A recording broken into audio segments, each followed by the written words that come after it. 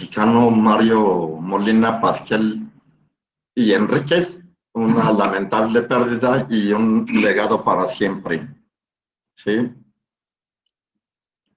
En, la conferencia de hoy denominada Ciencia, Tecnología e Innovación participan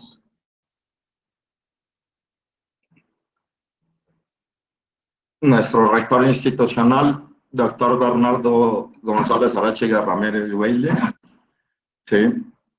El doctor eh, Bernardo es licenciado en Economía, maestro en Economía por la Universidad de Essex de Inglaterra y doctor en Economía por la Universidad del Sur de California. En su trayectoria profesional, actualmente desde el año 2013, es rector institucional en UVM, fue director nacional del LEGAT, Gobierno y Política Pública del Tecnológico de Monterrey, fungió como vocal independiente de la Junta de Gobierno del IPAD, coordinador de política pública en la Presidencia de la República, fue director general fundador de MEXDER, director de planeación y director general adjunto de derivados en la Bolsa Mexicana de Valores. Se desempeñó como director académico de estudios económicos del Colegio de la Frontera Norte y es autor y coautor de más de 10 libros y 60 artículos publicados en revistas nacionales e internacionales. El doctor Johnny Meas Bon es fundador del Centro de Investigación en Electroquímica, es este, un orgullo para México y es Premio Nacional de Ciencias y Artes 2019. Tiene la formación de ingeniero en electroquímica por el Instituto Nacional Politécnico de grenoble en Francia, y su doctorado es, eh, lo obtuvo en 1978 con una tesis con el tema de electrolitos. Sus áreas principales de investigación están relacionadas con materiales electrocatalíticos, funcionalización de superficies y electroquímica ambiental es nivel 3 dentro del Sistema Nacional de Investigadores y miembro de la Academia Mexicana de Ciencias. Ha colaborado en el Centro de Investigación y Estudios Avanzados del Instituto Politécnico Nacional Sinvestat, la UNAM. En 1981 se incorporó al Departamento de Química de la Universidad Metropolitana donde fungió y dirigió el área electroquímica. Del 81 al 91 sus principales temas de investigación fueron la electrocatálisis y, el electrodepósito. En 1991 fue director, como director general, fundó, fundó el Centro de Investigación y Desarrollo en Electroquímica. Bienvenido, doctor. Y el doctor Luis Arturo Godínez Mora Tobar, actualmente investigador titular en el CIDETEC. que tiene un postdoctorado por la Universidad de Florida. El doctorado es en fisicoquímica por la Universidad de Miami. Es investigador titular del CIDETEC. Fue director nacional del Sistema Nacional de Investigadores del 2016 al 2018 director general del Centro de Investigación en Electroquímica en el 2009 y 2015. Dentro de sus reconocimientos obtuvo el Premio Nacional de Electroquímica por la Sociedad de Electroquímica en el 2018, es nivel 3 del Sistema Nacional de Investigadores, miembro regular de la Academia Mexicana de Ciencias desde el 2004, de medalla Gabino Barrera de la UNAM, el Academic Award of Merit por la Universidad de Miami y premio al desempeño como docente con el reconocimiento Estrella y Delta del Tecnológico de Monterrey, Campus Querétaro. Bienvenidos, estimados eh, panelistas, ¿sí? Y le cedemos la palabra al doctor Bernardo González Arechiga. Doctor, adelante. muchísimas, muchísimas, gracias, Marco Antonio. Les doy la, la, bienvenida y un gusto compartir la mesa con Luis Arturo y con Jenny Meas. Eh, agradezco muchísimo. Y vamos, por favor, a la siguiente lámina. La idea es hablar sobre investigación, innovación y desarrollo tecnológico, que es justo la temática de nuestro congreso, pero enfocarlo en la transformación del modelo educativo de la universidad. Quiero darles a ustedes algunos datos para poner en perspectiva lo que está pasando en, en nuestro país.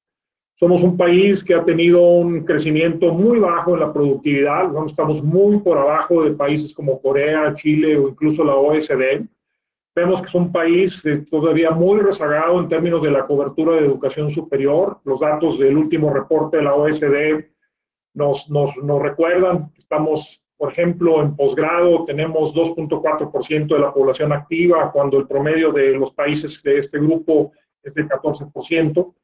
Y vemos también algo que no podemos dejar de lado, y es que nuestra composición industrial nos da un marcado dualismo. Tenemos por un lado las industrias de exportación vinculadas a, redes de proveedores internacionales que tienen una ganancia en la productividad de 5-8% anual. Y en contraste, la mayor parte de la industria mexicana o de las compañías pequeñas tradicionales han tenido una caída en la productividad de 6.5% también en ese periodo de estudio. Esto significa que estamos teniendo esta fragmentación de nuestra, de nuestra economía por la falta de, penetración de la educación eh, y la tecnología. Hay que recordar que la educación aumenta, la, incrementa la capital inherente en la fuerza laboral, la capacidad de innovación, de difusión y transmisión de tecnología. Esto lo vemos también en la siguiente lámina. No quiero entrar en detalles, pero es información muy importante Vemos que en México tenemos un rezago muy significativo en el gasto en investigación y desarrollo eh, experimental. Tenemos eh, cifras que nos llevan muy abajo, el presupuesto de este año, punto 38 el Producto Interno Bruto, muy por abajo de lo que tienen otros países. Podemos ver el caso de Corea del Sur, por ejemplo, con más de 4%. Y esto nos está eh, generando una brecha y una necesidad muy importante para que las universidades contribuyan.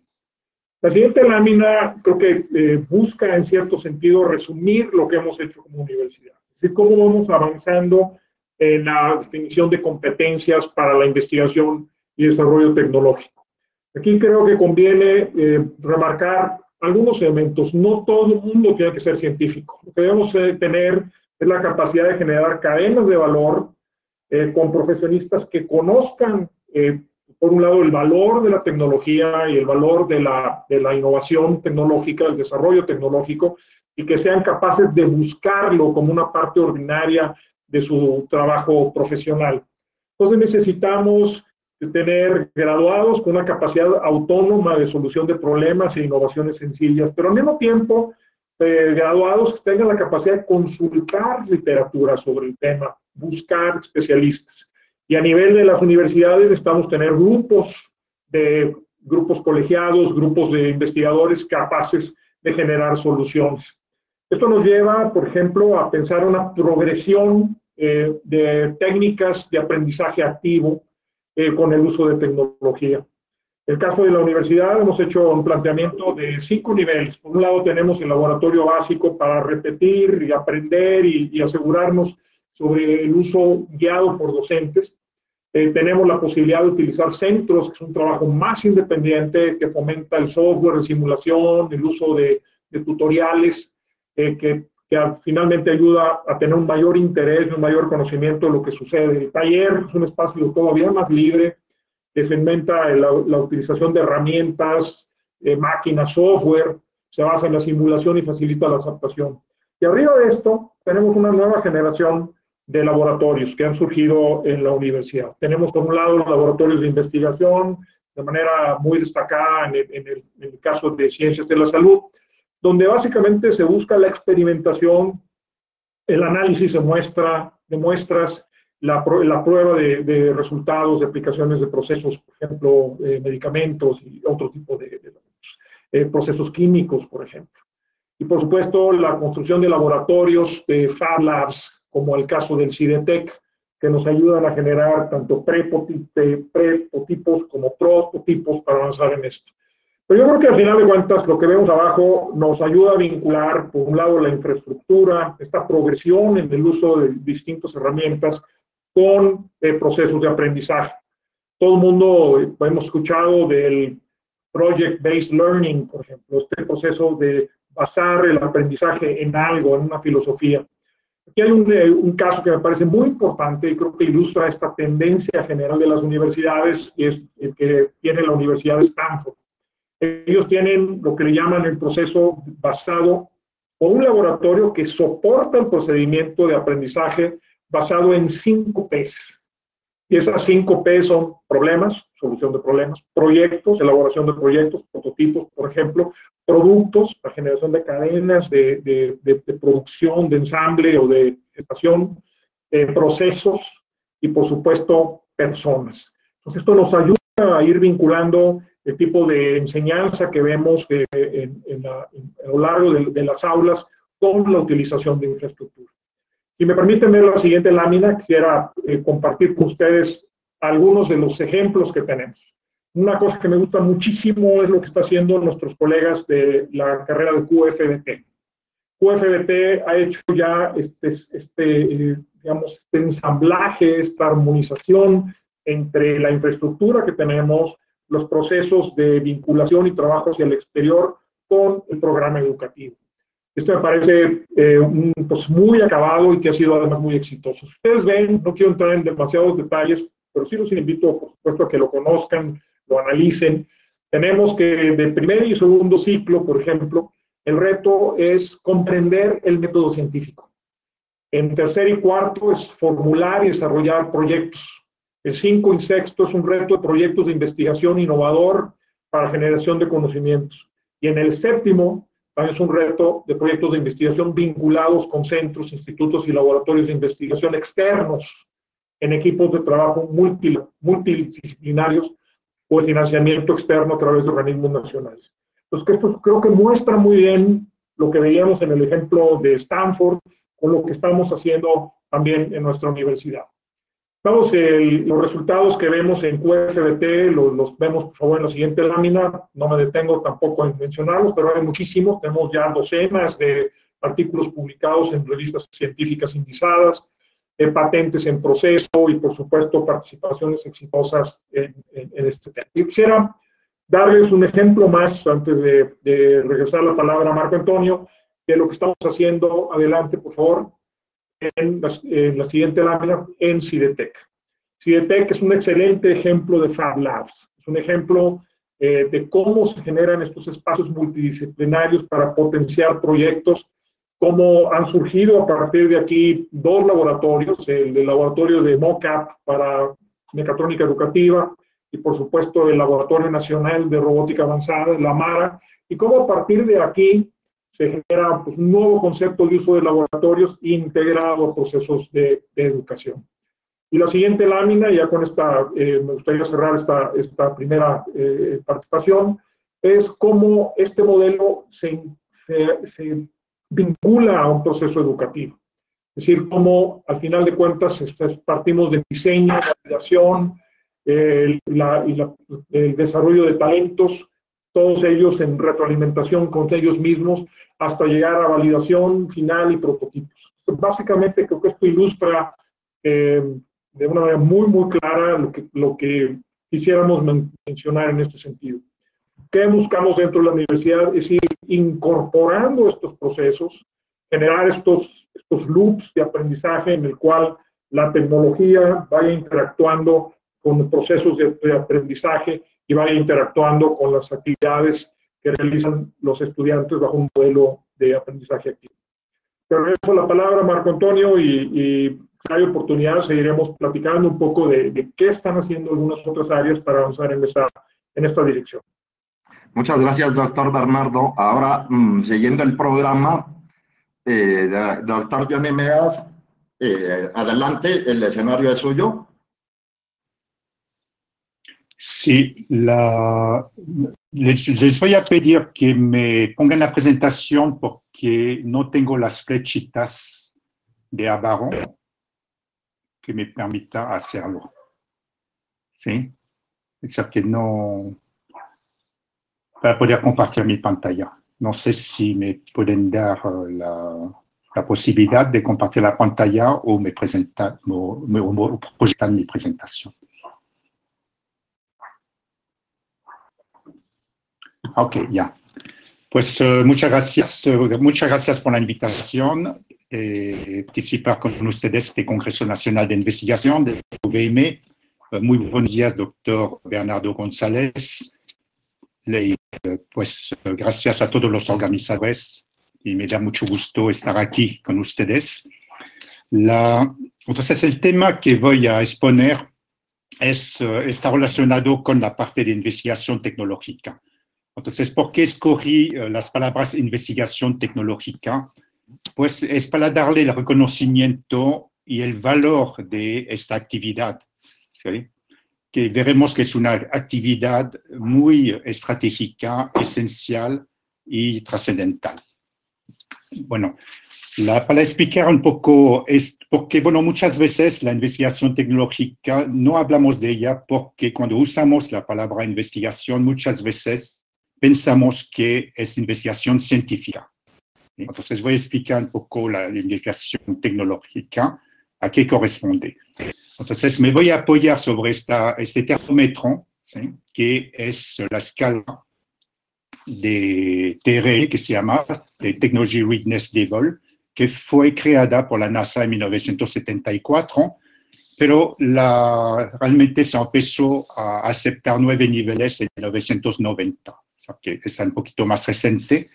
Estos nueve niveles corresponden a la, el, nivel más bajo uno, es la investigación básica, después la investigación aplicada, la prueba de conceptos, es de 1 a 3.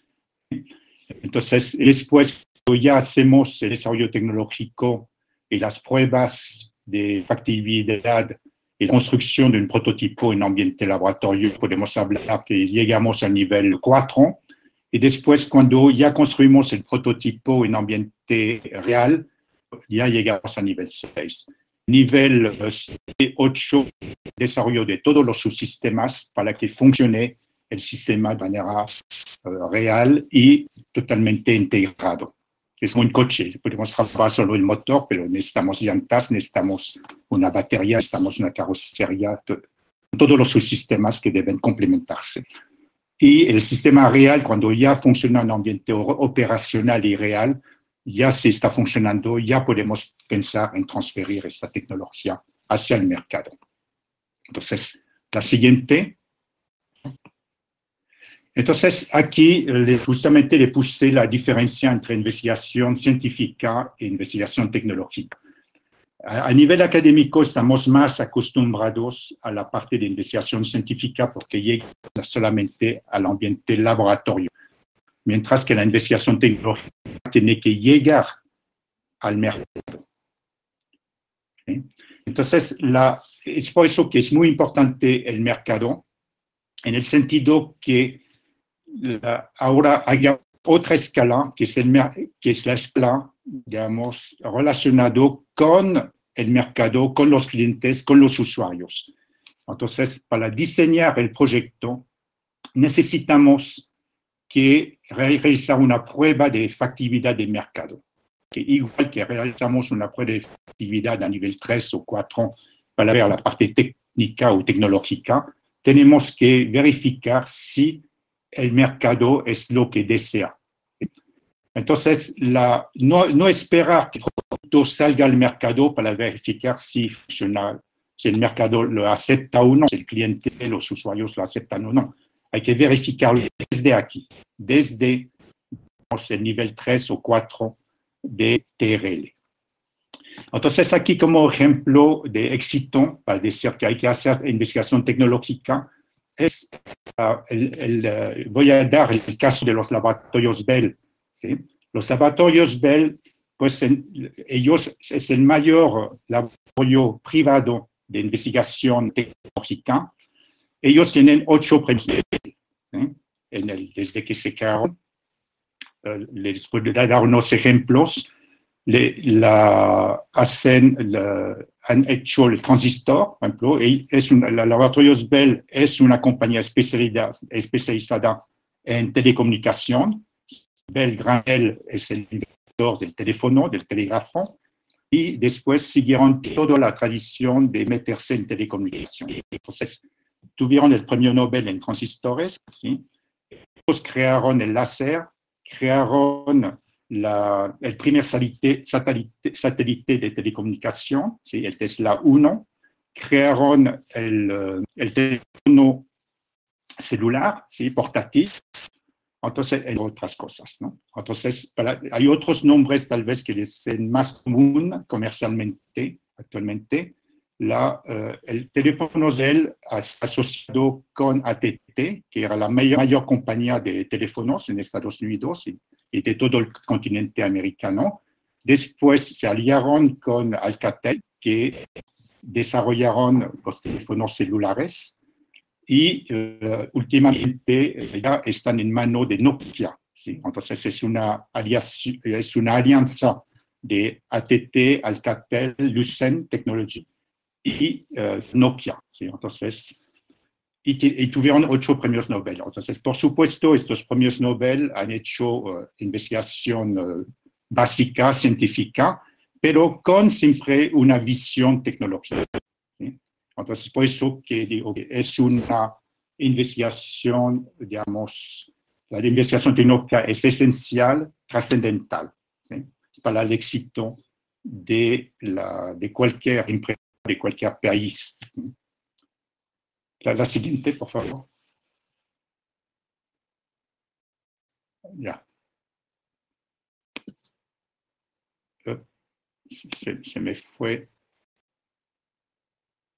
Aquí no aparece nada.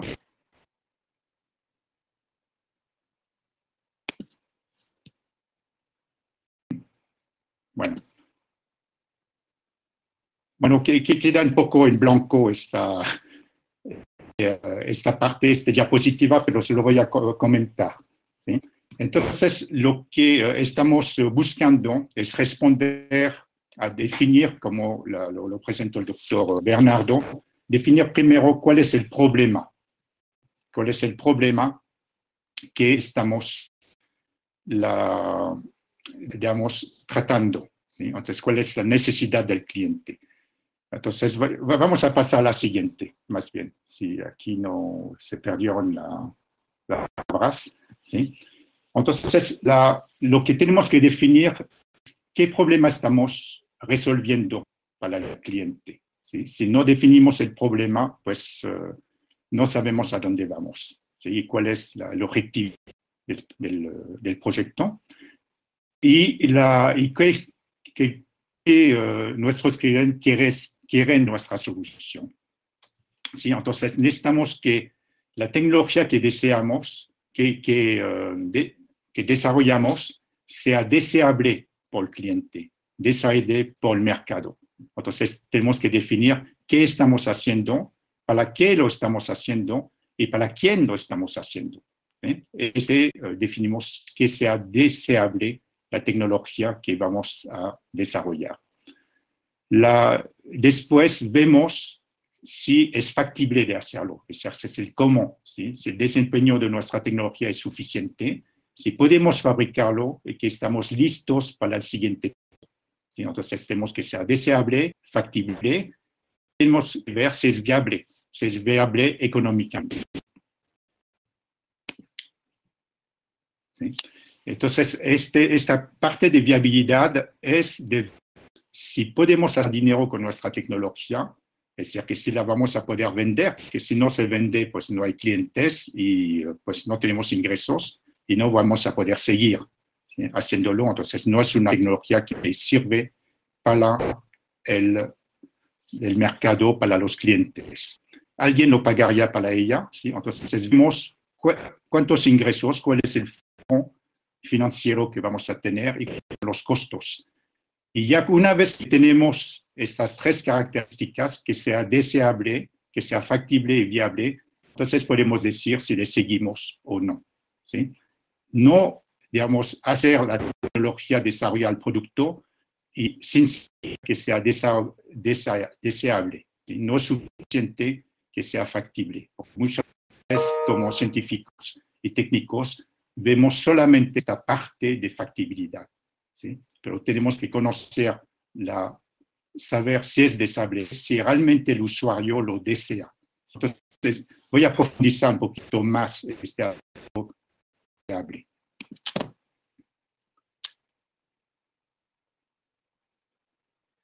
Bueno, ok.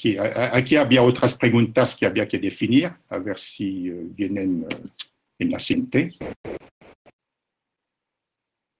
Ah, ya, ya viene. Bueno, esta era la, la, anterior, sí, que había que definir el, el problema. Ok, entonces la siguiente, por favor. Mm, bueno, ok, entonces la... Yo creo que... Bueno, no, no, no importa. entonces vamos a regresar, vamos a ver si me la pueden presentar. El, uh, ¿Dónde estábamos, por favor?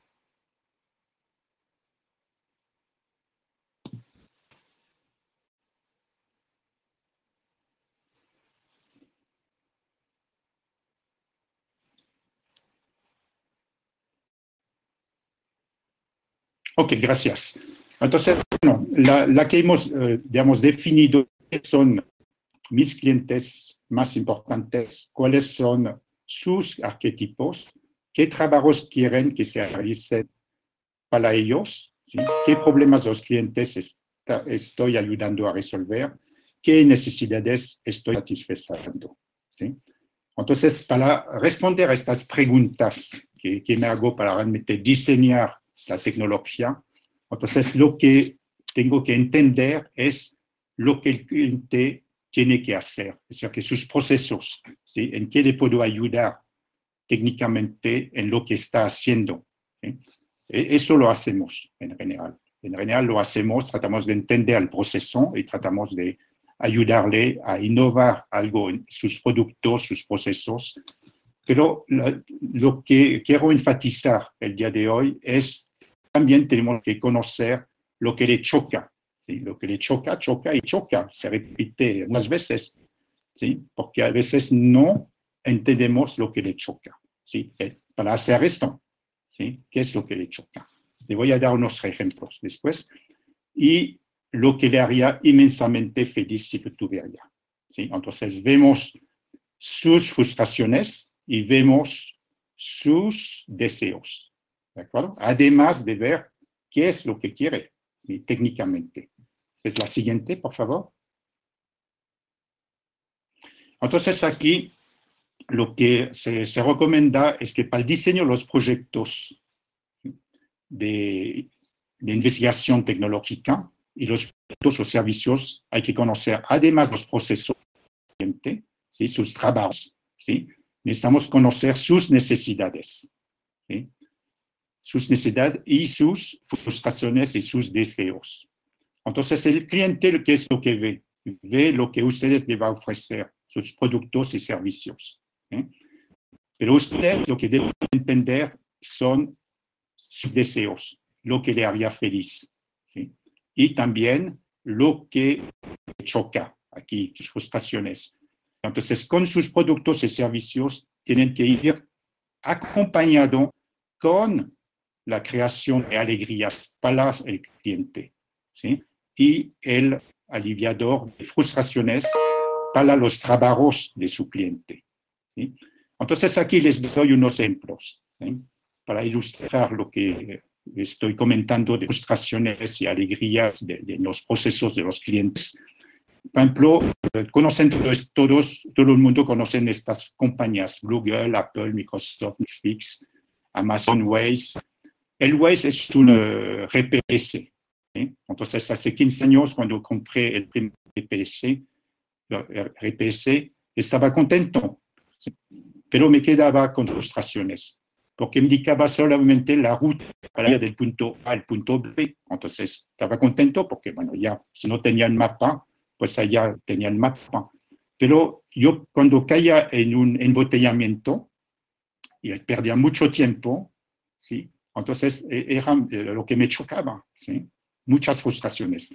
Actualmente eh, el Waze y también el Google Map ¿sí?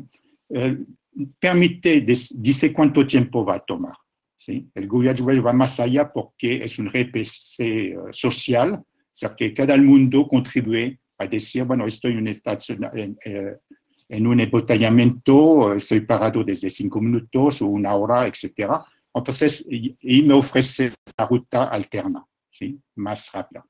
Entonces, este es algo que quita las frustraciones al usuario y más feliz porque va a llegar tiempo a su reunión. Entonces, por ejemplo, si ustedes compran en Amazon o Netflix, ya conocen sus deseos. ¿eh? Conocen qué es lo que sabe ver y siempre les proponen una película o productos, eh, digamos, alternos. Por ejemplo, en el caso de Google, ¿por qué Google la, ¿qué, qué, cuál es el modelo de negocio de Google? Porque, bueno, yo creo que todos hemos utilizado Google como un buscador, pero no pagamos nada para buscar, ¿sí? usamos el, el Google para buscar. Entonces, ¿dónde generar? ¿Cuál es la base de negocio? Pues Google utiliza la información de su solicitud. Usted necesita algo, ¿sí?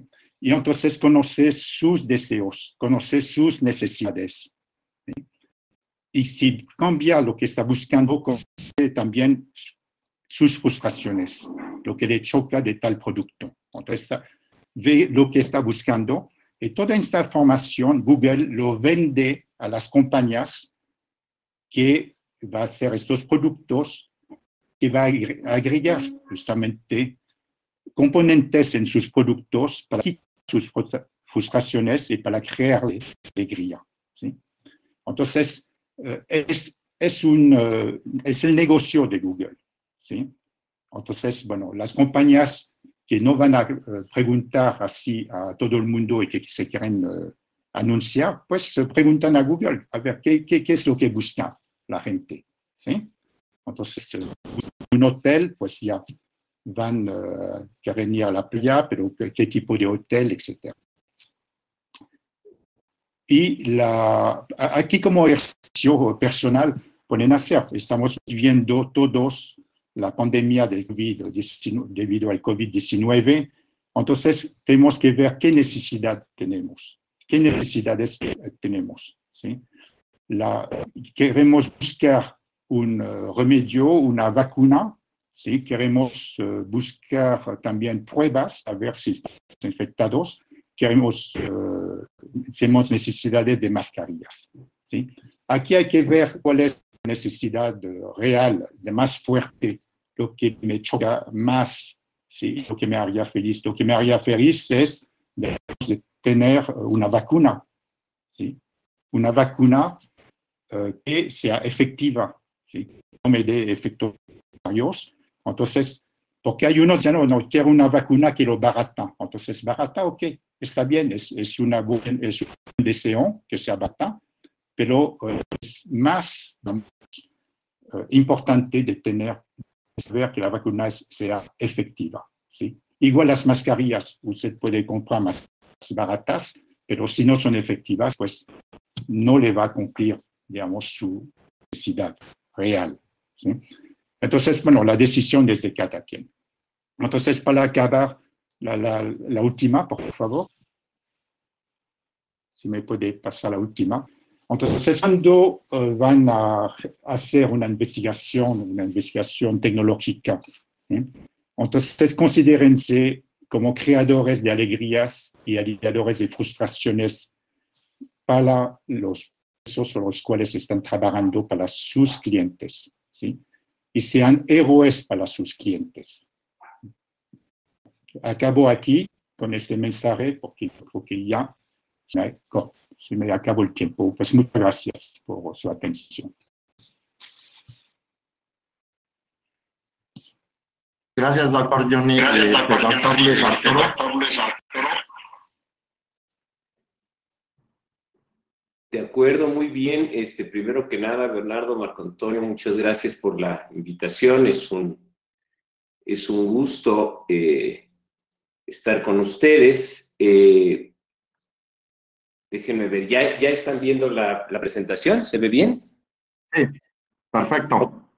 Bueno, pues este, nuevamente les agradezco mucho la posibilidad de venir a platicar unos minutos sobre ciencia, desarrollo, tecnología e innovación, perspectivas de desarrollo un poco en el marco de eh, pues el quehacer académico.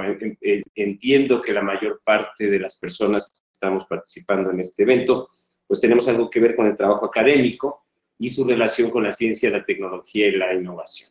Eh, los productos del quehacer académico son varios productos, digo, es difícil como siempre generalizar, pero podríamos decir que hay un trabajo de docencia, un trabajo de divulgación, un trabajo de difusión de la cultura, y hay un trabajo, un componente muy importante en las actividades de la academia que tiene que ver con la generación de conocimientos. En ese sentido, hay que definir cómo ese conocimiento, qué alcances tiene ese conocimiento y un poco cómo lo podemos aplicar para el contexto de la ciencia, la tecnología y la innovación que vivimos actualmente en México. La generación de conocimiento, como, como sabemos, tiene que ver con el modelado, con la conceptualización de la realidad a través del razonamiento y del método científico. Estoy hablando, por supuesto, del conocimiento eh, orientado a la investigación. Y ahí eh, voy a utilizar algunos de los conceptos y de las cosas que investigadores que se dedican precisamente a esto, al, al, tema de la evaluación y la contextualización del quehacer académico eh, han publicado y que están trabajando. El doctor Rafors, por ejemplo, tiene este diagrama muy interesante en el que podemos ver cómo el espacio de la investigación, que es el espacio verde, es decir, el espacio que, que, que, cubren los, los, proyectos, los conceptos y los estudios que se hacen en la academia, tienden a comprimirse y tratar de confundirse con el espacio de los indicadores, aquellos que nuestras instituciones necesitan para dimensionar los productos del trabajo académico y después también para gestionar los recursos, recursos que necesita para mantener este proceso de una manera sustentable. Y por otro lado tenemos el espacio de los problemas, que es mucho más grande que el espacio de la investigación, y entonces hay también una presión social, una presión de las agencias de financiamiento, privadas y públicas, para ampliar y cubrir cada vez una mayor parte del espacio de los problemas. Entonces hay una tensión entre el espacio de lo que se mide o cómo nos miden, el espacio de lo que la sociedad nos exige y el espacio de lo que hacemos. Y ahí hay una, hay una tensión. Además está el enfoque de la investigación científica y de la investigación tecnológica. A mí esta diapositiva me gusta bastante porque aquí se puede ver, por ejemplo, cómo en el modelo de las ondas electromagnéticas, estos campos magnéticos y eléctricos este, oscilantes, eh, a diferente frecuencia, pues tenemos eh, un dominio de fenómenos en los que esta radiación puede, puede eh, afectar. Desde el punto de vista científico, el modelo de la, de la luz, de la radiación electromagnética, pues es una descripción siempre semiperfecta, por supuesto, de la realidad, pero desde el punto de vista tecnológico, pues es un modelo útil que, que, que no importa desde esa óptica mucho si se ajusta o qué tanto se ajusta a, a, una descripción completa de la realidad. Es algo que, nos, es útil y que nos permite diseñar antenas, teléfonos, radares y una serie de cosas tecnológicas que hacen la vida mucho más sencilla.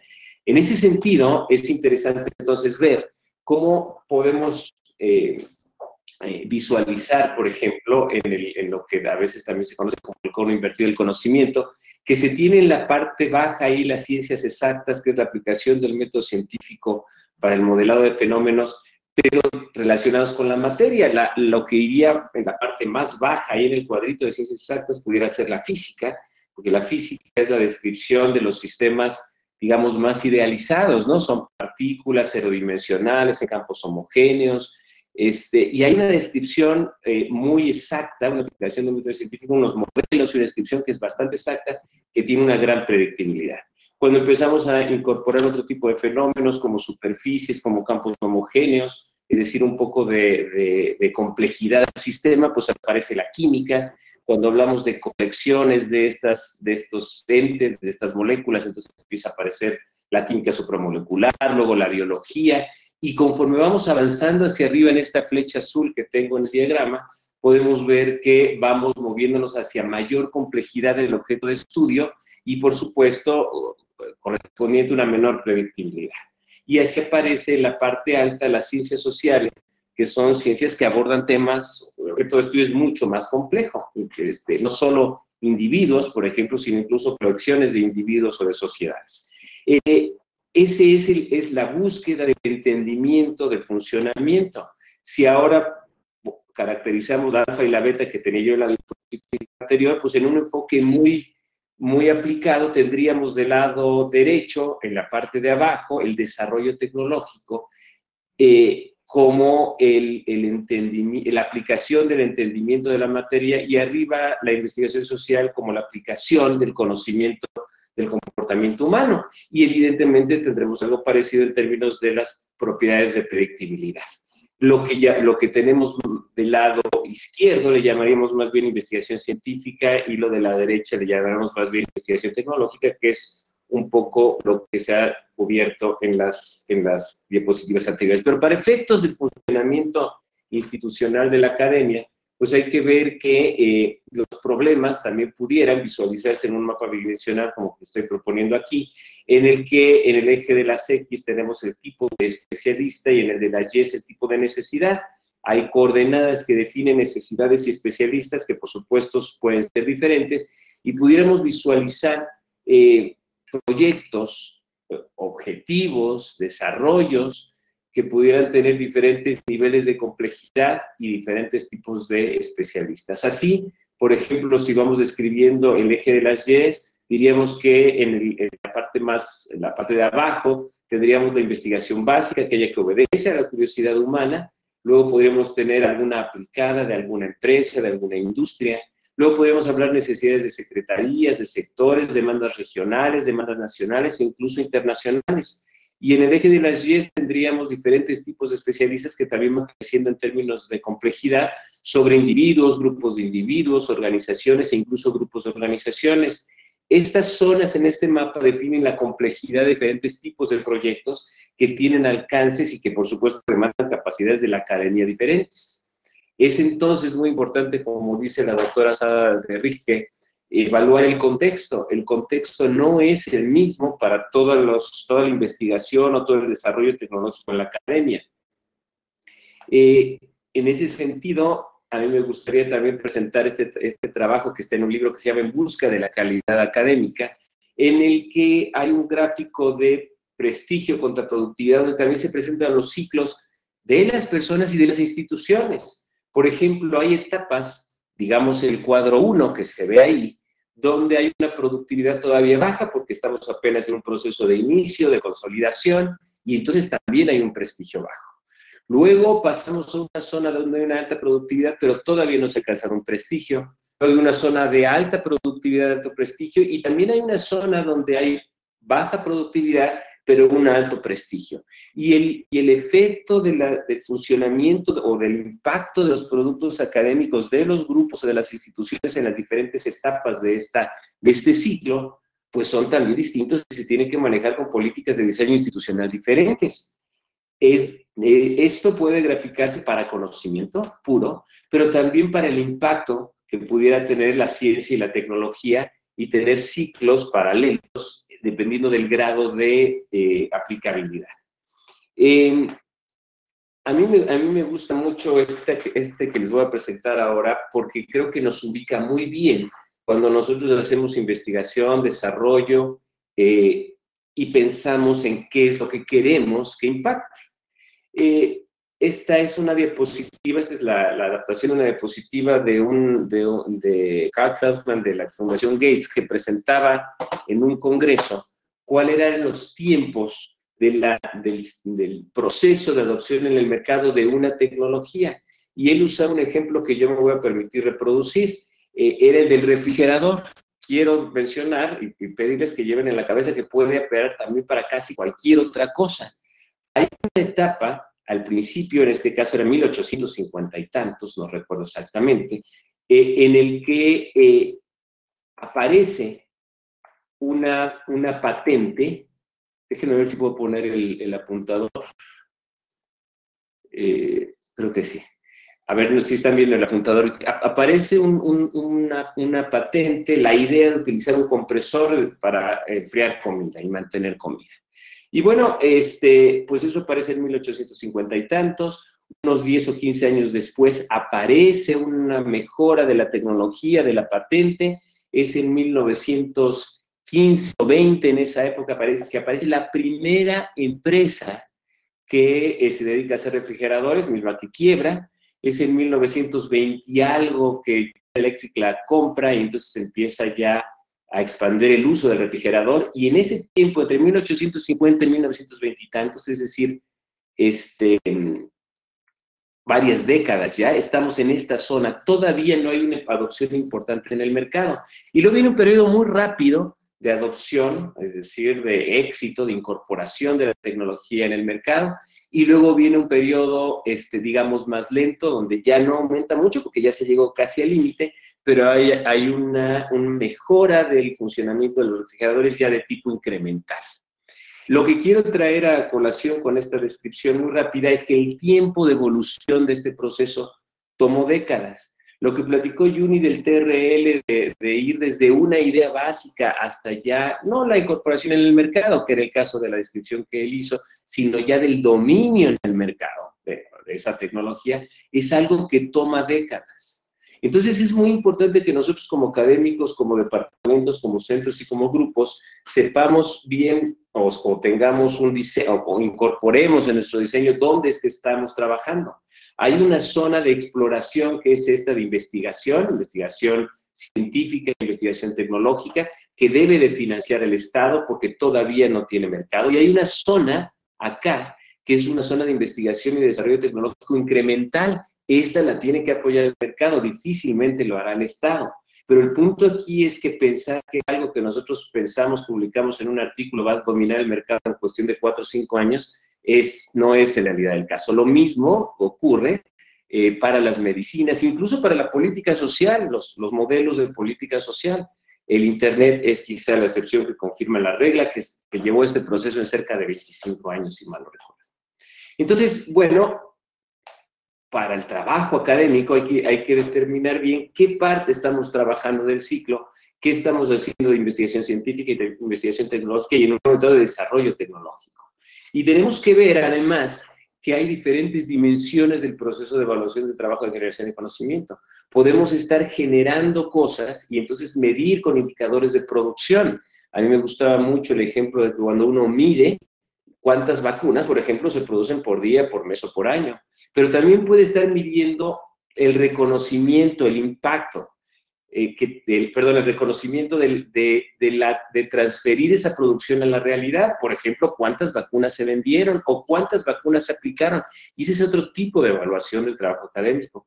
O bien el impacto, cómo disminuyó la mortalidad por la aplicación de esa vacuna. Son dimensiones distintas que también se incorporan dentro. Así, para el diseño, insisto, de la política de investigación de, ciencia y desarrollo institucional, hay que tomar en cuenta un balance de diferentes cosas. La calidad de los productos de investigación, como generalmente se hace, también el ambiente en que se desarrolla la investigación y también el impacto de esa investigación. En Inglaterra tienen ya un sistema muy desarrollado eh, en el Reino Unido para este tipo de evaluación. Finalmente, eh, yo creo que es importante la medición no nada más para evaluar el resultado, sino para diseñar el proceso, porque, eh, como dice el doctor Wilson, eh, es, es, muy importante entender que, los, que las auditorías, es decir, los elementos, aquí auditorías en el término de esta evaluación, eh, influencian los hacedores de política pública y los fiscalizadores de recursos públicos. Mucho de la, de la investigación y del desarrollo tecnológico, al menos en las etapas tempranas, se hace con recurso público. Y entonces es importante poder tener los argumentos sólidos, bien pensados y bien fundamentados para convencer de que eso no es un gasto, que es una inversión. Eh, con esto, yo les agradezco mucho su atención y me pongo sus órdenes para que sigamos la, en la mesa. Muchas gracias. Muchas gracias, este, doctor Les Arturo. Este, vamos a proceder a unas preguntas. Sí, sí, vamos a proyectar, este, permítanme.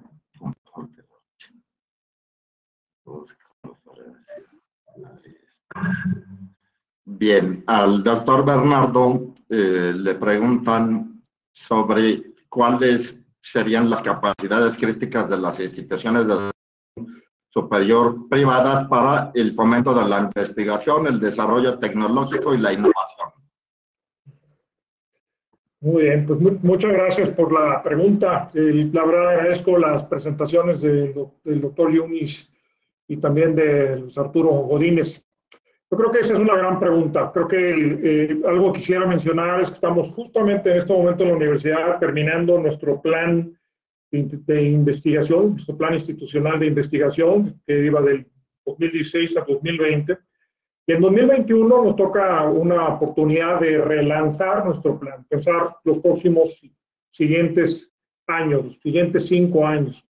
Me gustó mucho la reflexión que compartía Luis Arturo con nosotros en el sentido de establecer un balance en el diseño de estrategias de investigación.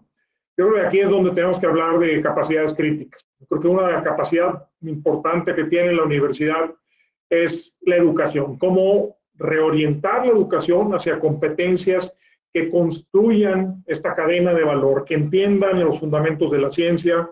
Pareció maravillosa la, la lámina de, inspirada en la, en la, NASA que compartía el doctor Yunus Meas eh, al principio de su presentación, porque es básicamente lo que tenemos. Tenemos que hablar de una pues, ¿cómo le llamamos? Un alfabetismo, una comprensión del funcionamiento de la ciencia y del proceso de la innovación útil y valiosa. Entonces, en ese sentido, eh, algo que estamos lanzando en la universidad y que seguramente será el inicio de cosas que irán madurando en los próximos años, es justamente eso. ¿Cuáles son esas competencias, ese tipo de metodologías activas que podamos utilizar? Eh, también la utilización de tecnología educativa en estos momentos nos invita a utilizar herramientas agile para tener eh, pues procesos de, diseño y de comprensión de problemas más, más, más, más fuertes. Yo creo que al final de cuentas uno de los elementos críticos es la creación de un ecosistema, un ecosistema que debe tener pues, tanto la plataforma como los actores y las herramientas. Esta, es un poquito lo que traté de mencionar en mi presentación es cómo podemos utilizar las distintas herramientas, eh, pensamos en laboratorios básicos, centros, talleres, tener ya, por supuesto, los laboratorios de investigación propiamente dichos y los Fab Labs, como una cadena de valor que se entiende como un elemento de la formación eh, de, la, de, nuestros estudiantes. Ustedes podrán ver nuestros planes de, expansión en este año, eh, lo, pueden ver actualmente en la pantalla, pero tenemos que, buscar este, cuál es la nueva generación de procesos. Yo quisiera terminar simplemente eh, mencionando esto que me pareció muy útil, ¿no? Cómo esta cadena y estas secuencias para ir integrando conocimientos, ir integrando información, tanto científica como tecnológica en las primeras etapas y posteriormente de necesidades humanas, de gustos, preferencias y demás, para generar productos que nos lleven finalmente a una innovación y un desarrollo tecnológico. Esta cadena la tenemos que construir, tiene que ser parte de la, de la forma de pensar. La integración de asignaturas de la universidad va en esa dirección, el diseño de, de centros, eh, talleres, eh, Labs y demás va también en esa dirección. Pero vemos con un enorme optimismo lo que nos va a traer el próximo año. Esta comunidad eh, de investigación, esta comunidad académica, nuestros educadores, repensando nuestro modelo eh, y tenemos que acelerar. Quisiera recordar que nuestro país tiene enormes retos para la incorporación de ciencia y tecnología. Hemos visto una reducción de los recursos que están dedicándose a la ciencia, como mencioné en un principio. Hemos visto también eh, lo que se perfila como un recorte de apoyos de CONACYT, por ejemplo, para el Sistema Nacional de Investigadores en universidades particulares.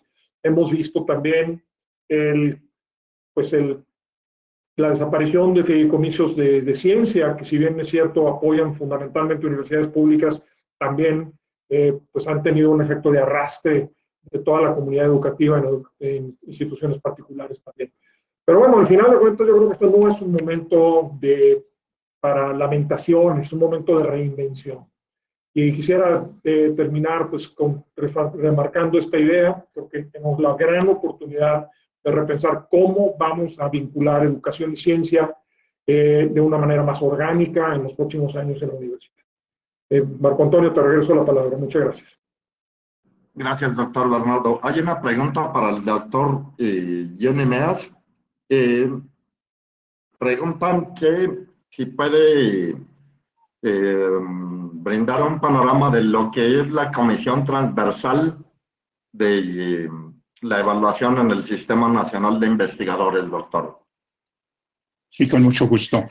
La, Comisión Transversal de Tecnología del Sistema Nacional de Investigadores es una comisión que se formalizó hace unos años para evaluar los productos tecnológicos de todas las áreas que están considerados en el SNI. Había siete, ahora hay nueve, desde hace 15 días. Entonces, todos los investigadores que generan productos tecnológicos lo evalúa eh, esta comisión. No es la comisión dictaminadora de, la, de cada una de las áreas. Nosotros evaluamos y pasamos nuestra evaluación a las comisiones dictaminadoras para que lo tomen en cuenta, que se a los puntos que tienen de productos de investigación científica. Como ya lo mostré, eh, está diferenciado la parte de investigación científica e investigación tecnológica. Son productos diferentes.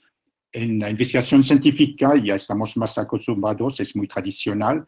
Eh, son eh, publicaciones, artículos que se hacen en revistas de diferentes factores de impacto.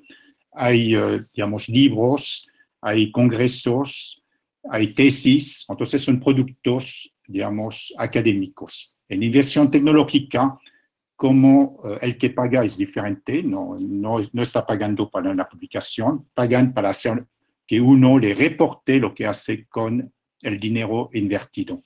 Entonces, muchas veces lo que estamos, los productos que hay y que se aceptan son, son productos de propiedad intelectual que se consideren o que se transfieren en México o en, eh, en el extranjero. También eh, todos los estudios y proyectos que generan conocimientos novedosos, ¿sí? pero que están pagados por un tercero, e implementados, pues da más impacto. Y todos los desarrollos tecnológicos implementados y orientados a resolver problemas reales. Entonces, principalmente los productos tecnológicos son los desarrollos tecnológicos o, de innovación que uh, se refieren a través de reportes. En el reporte es muy importante que planteen bien cuál es el problema que se resuelve. Porque muchas veces tenemos reportes, vemos reportes y no hay, digamos, una definición del problema que se está resolviendo. Y también una carta de satisfacción uh, del usuario ¿sí? para decir, ah, bueno, pues eh, a mí me resolvió, esto me dio tal beneficio. Entonces, eh, esas son, digamos, evidencias de un desarrollo tecnológico exitoso. Entonces, hay también softwares, desarrollo de softwares también se pueden considerar como productos tecnológicos. Básicamente es la función de esta Comisión Transversal de Tecnología, que ya tiene criterios mucho más formales, más definidos. Muchas gracias, doctor. Hay una pregunta para el doctor Luis Arturo Godínez. Preguntan que desde su experiencia, ahora que se publicó el nuevo reglamento de ingreso y permanencia, ¿qué puntos favorables eh, observa usted en, esta nueva reglamentación para el ingreso al SNI, doctor Luis Arturo? Sí, claro, este, Marco. Bueno, eh, hay algunos cambios, digo, la evaluación de que si son muy favorables o poco favorables, este, pues ya no, yo no la voy a hacer, pero sí voy a destacar cuáles son los cambios más importantes, porque al final es la evolución de un reglamento que va logrando un programa de los más añejos del CONACYT. El, el SNI junto con el programa de becas son de los programas que más éxito han tenido y también de los más viejos en el, y más consolidados, por supuesto, en el, en el, Consejo. Entonces, este, aquí es interesante, mencionó Yuli, ya se pasa de siete a nueve áreas, y eso es un tema que muestra que va aumentando la cantidad de investigadores y de investigaciones asociadas a su trabajo. Se agrega una, una comisión nueva de interdisciplinas que va a trabajar con interdisciplinas, multidisciplinas y transdisciplinas. El área 6 le cambiaron el nombre, ahora ya omitieron el nombre de biotecnología y ahora se llama agricultura, agropecuaria, y ecosistemas. Ese es otro cambio que destaca. Se mantiene la Comisión Transversal de Tecnología que, que y se sigue la posibilidad de otro tipo de comisiones transversales. Eh, hay, hay algunos cambios muy interesantes, muy, muy buenos en términos de que se consideran cosas apoyos que antes no se consideraban. Por ejemplo, la extensión por maternidad que existía de 12 meses, ahora puede ser, ahora va a ser de 24 meses. Eh, el, el, periodo de apoyo a los investigadores de, como candidatos, que puede ser una sola vez, antes era de tres años y se podía extender bajo evaluación un año más, ahora son cuatro años directamente. Y yo creo, y eso es lo último que voy a mencionar, que todo obedece a que ya son 33 mil investigadores en el sistema, cerca de 16 mil solicitudes al año y un proceso de evaluación que además tiene que ir balanceando los criterios cuantitativos y cualitativos. Entonces ya hay subcomisiones que evalúan diferente los diferentes niveles del SNI. Se va abriendo, se va haciendo más plural, se va haciendo más heterogénea, va contemplando más lugares de la República, ya no está todo centralizado. El setenta y tantos por ciento de los investigadores en el SNI ya están fuera de la Ciudad de México y eh, hay un, proceso de eh, equiparamiento de género también continuo. Entonces yo creo que es un, es un que puede ser lo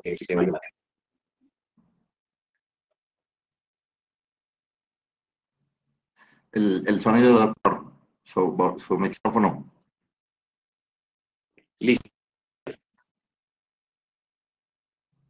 ¿No se oye? Hola, hola.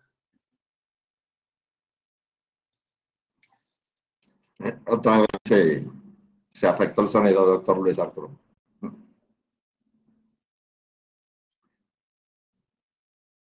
¿A partir de cuándo? Ya, ahí, ahí ya se escucha. Gracias. Creo que Voy a quitar el video, pero ¿a partir de cuándo se afectó el sonido? Nada más para si es que para repetir el final de mi. De mi... Estaba en su último, en su penúltimo comentario, me parece, cuando eh, los y el 70% fuera del Distrito Federal, de la Ciudad de México, perdón, y, y el otro tanto. Ok, sí, este, bueno, entonces voy a cerrar. Gracias, Marco. Este, eh, efectivamente, ha habido un esfuerzo continuo de muchos años ya, eh, donde cada vez ha ido aumentando la cantidad o, la, el porcentaje o la proporción de investigadores que están fuera de la Ciudad de México. Eso habla de que las actividades de investigación se van, se van diversificando. Hoy estamos arriba ya del 75%. Y decía que además ha habido también una evolución continua eh, de ir equiparando la proporción de género en el SNI. Y eso también es algo que obedece a, eh, pues a todas estas políticas y cómo el reglamento los, va marcando. Entonces, cerraba yo diciendo que me parece que este nuevo reglamento que tiene estos cambios que he comentado, eh, lo, digo, esos son los cambios, digamos, más para los investigadores. ¿no? Hay otros cambios muy importantes como el, el, Consejo General, es decir, administrativos, pero para efectos de los investigadores son básicamente estos. Y, eh, y bueno, pues este, reflejan una evolución de este programa. Muchísimas gracias, este doctor, por cuestiones de, de tiempo y espacio. Este, pues queremos agradecerles eh, la participación en esta interesante mesa y le vamos a ceder la palabra al maestro Jaime Eduardo Flores Salinas, rector del campus Monterrey de OBM y presidente del, eh, del décimo primer eh, Congreso Nacional de Investigación. Sí, entonces, adelante, maestro eh, Jaime Eduardo. Muy buenos días, doctor Luis Arturo Godínez. Muy buenos días, gracias. Al contrario, muchísimas gracias por su ponencia. Estamos muy, muy contentos de, de, de haberle tenido con nosotros en, esta, en este inicio de la jornada del Congreso, onceavo Congreso de Investigación Nacional VM. Y es para mí un honor entregarle esta, este reconocimiento por su valiosa colaboración y participación en, en nuestro Congreso. Con mucho gusto y, y, con gran cariño, respeto y admiración, le hago entrega de este reconocimiento virtual. Estimado doctor. No, pues muchísimas gracias nuevamente por, por, por reconocimiento. Muchas gracias y mucho gusto. Igualmente, muchísimas gracias. Al doctor Johnny Meas. De igual forma, doctor Junimeas Bong, muchísimas gracias por su excelente colaboración, participación y reflexiones que nos permiten continuar cuestionándonos acerca del proceso de investigación en nuestro país. Reciba, por favor, con, con mucho respeto y reconocimiento este, este conocimiento virtual por su participación en nuestro onceavo Congreso Nacional de Investigación. Muchísimas gracias, con, con gran afecto. Sí, igualmente, muchas gracias por la invitación. El gusto es mío ¿eh? también.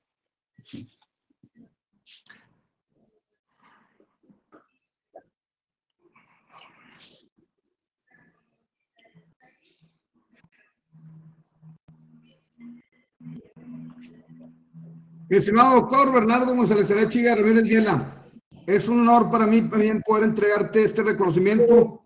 Agradezco infinitamente tu participación. Este congreso sin ti no sería lo que es hoy.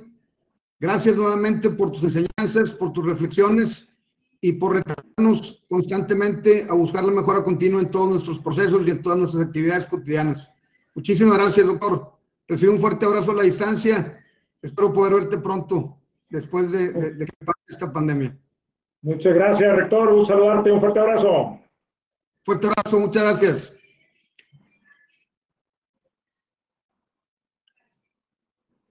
Doctor Marco Antonio Zamora Antuñano, de igual forma, mi reconocimiento, mi respeto y admiración, y pues con mucho gusto te hago entrega de este reconocimiento virtual.